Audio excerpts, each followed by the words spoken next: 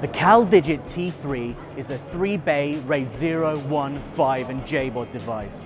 When CalDigit decided uh, to design this product, we were thinking about making a, a two-bay RAID, but we decided to add an extra bay because that extra bay gives us a bunch of extra options. It allows us to have higher storage capacity, faster performance, and now it's allowed us to add RAID 5. RAID 5 in such a compact, small device is not available from any other company. The beauty of RAID 5 is it gives you a balance between performance and security.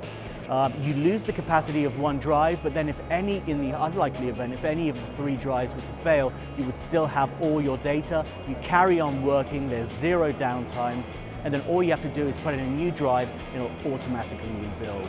The T3 not only supports standard 3.5 inch hard drives up to 15 terabytes capacity, but it also uh, supports super fast 2.5 inch SSDs. Speed-wise, with SSDs, you're looking at 1,100 megabytes a second, which is incredibly fast.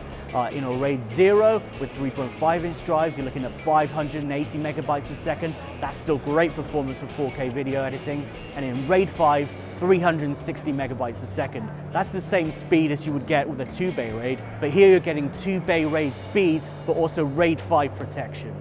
Also in the CalDigit T series is the T4.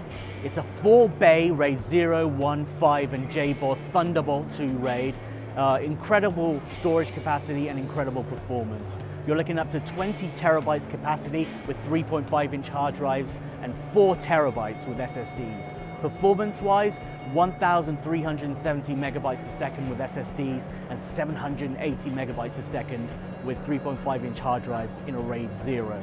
The RAID 5 performance with SSDs is 1,000 megabytes a second and with 3.5 inch hard drives you're looking at 550 megabytes a second.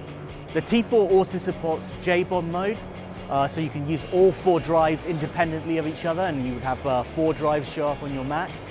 But also a unique feature of the T4 is that you can mix and match RAID and JBOD within the same device. So for example, if you only wanted to RAID three drives, you could do that and then keep one drive as a JBOD drive. Or for example, you wanted to put two RAIDs into the T4, you could use two bays as a RAID 0 or RAID 1 for example, and then use the other two bays as a, a 0 or a 1. The T4 features an industry-leading five-year warranty. Most other storage providers will uh, give you three years. CalDigit is giving five years because we believe in the quality and reliability of the product. The T3 and the T4 feature hot swappable drive modules, and CalDigit sells extra drive modules that come in these protective archive boxes. For more information on the CalDigit T3 and T4, please visit caldigit.com.